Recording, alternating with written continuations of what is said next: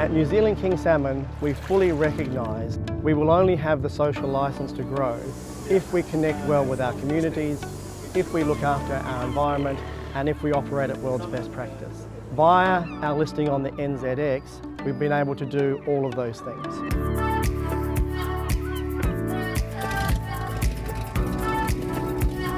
New Zealand king salmon produces over half the world's supply of the most premium species of salmon called king salmon. We have eight farms in the Marlborough Sounds, three hatcheries, three processing facilities and we export to about 20 countries around the world.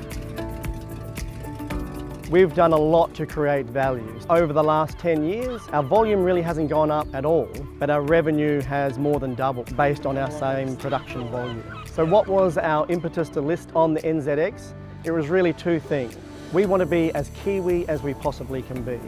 Enabling everybody to own a bit of our company helps extend ourselves into the community and obtains us social licence to be able to grow. The other one is we need to raise capital to operate at world best practice and to be able to scale our business. They were the two driving factors that have been the success behind our listing on the NZX. Based on our experience, I would recommend other Kiwi companies to list on the NZX.